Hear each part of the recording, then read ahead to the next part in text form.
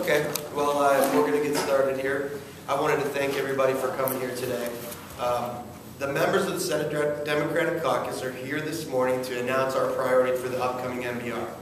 The MBR used to be called the Corrections Budget. That's a more appropriate term considering the many things that need corrected from the governor's previous budgets. In a few days, Governor Kasich will lay out his priorities during the State of the State. So now's a good time to look at where we are as a state and what path we should, we should take moving forward. Here are some of the concerns that I wanted to discuss today. 31,000 more Ohioans are unemployed today than they were at this time last year. Ohio is 45th in the nation in job creation. Ohio's unemployment rate has grown more than any other state over the past year. Those are all numbers from the Bureau of the Labor Statistics. The governor has increased sales tax and pushed for tax cuts that disproportionately benefit the wealthy, while at the same time kicking thousands of Ohioans off food assistance. And women's rights have been attacked. Clearly, Ohio is on the wrong path. What the governor and majority is, is doing today isn't working. Too many Ohioans are unemployed, and too many are being left behind by the policies that benefit a fortunate few. We need to put the focus on helping all Ohioans.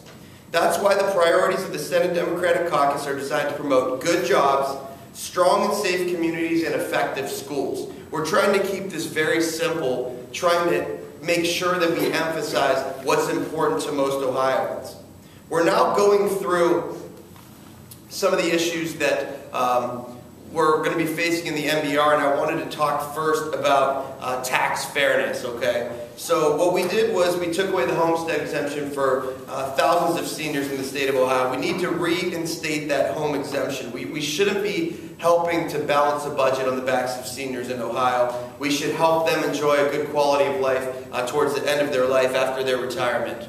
Um, we should also reinstate the property tax rollback. There's no reason that we took that 12% state share away from um, paying towards levies in the state of Ohio. So now, not only is it very difficult to pass levies, but now you have to pass more expensive levies, which just makes the campaigns very difficult. A recent levy in my district failed by 77 votes, and that was brought up a lot, that it was a more expensive levy than was once promised.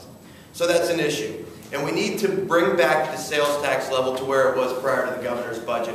This quarter percent sales tax doesn't sound like a lot, but I've talked to businesses in my district that are not buying goods from Ohio this year because of the sales tax. And if they could find it cheaper in other states, then they're making those purchases. So those are things that people don't consider at times.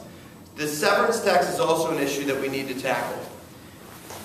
Again, this, this can be very simple. We need to make sure that there's environmental protection first. We need to make an adequate and robust investment in the communities where the oil and gas is being removed from the earth. And we need to have a part of that severance tax for job training for, for Ohioans today. You know, people complain about seeing all the license plates from folks from all over the country. And so if we're going to use Ohioans, they need to be properly trained. We need to make that investment now. We need to make get this severance tax passed now because every day that passes, we're moving further and further behind.